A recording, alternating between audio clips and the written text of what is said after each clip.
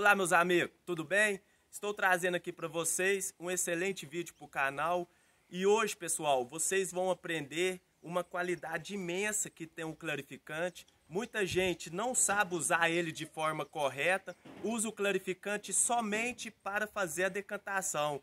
Pessoal, além da decantação, ele tem uma química que é muito importante que também faz clarear a água.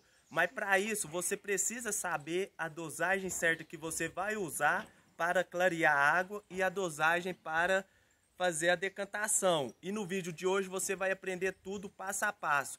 Então, pessoal, o que eu quero trazer para vocês primeiramente é que o clarificante, o próprio nome dele já fala, clarificante. Por quê? Por causa que ele é clarifica e floculante.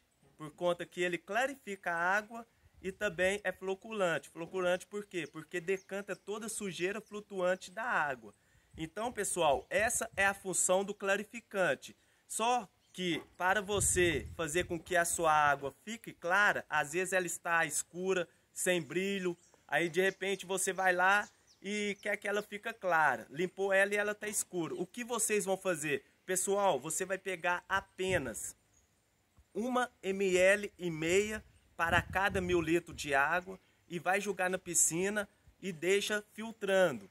Prazo de 3 horas de prazo, a sua água já vai dar uma clareada. Ele vai clarificar a sua água com essa dosagem. Por exemplo, se a sua piscina tem aí mais ou menos 100 mil litros de água, uma suposição, colocando uma ml e meia, você vai colocar somente em 100 mil litros de água 150 ml e vai colocar para filtrar. É onde é que a sua água vai ficar clara. Não vai decantar, porque essa dosagem é para clarear a sua água. É por isso que é uma ml e meia. Você pode ter uma sujeira na água que ela vai continuar a mesma coisa, só vai clarear a sua água. Agora, se você for utilizar ele para decantação, se a sua piscina estiver mais ou menos fácil de limpar, você vai colocar somente 7 ml dele para cada mil litros de água. Agora, se a sua piscina estiver verde ou turfa, aí você precisa de um resultado melhor, você vai colocar 10 ml para cada mil litros de água. Por exemplo, uma piscina dessa aqui que tem 100 mil litros de água, no caso, se eu fosse fazer uma decantação com a água verde, eu teria de colocar um litro de clarificante, que é 10 ml para cada mil litros de água, para me ter a certeza do resultado. Então, pessoal, fica a dica de hoje.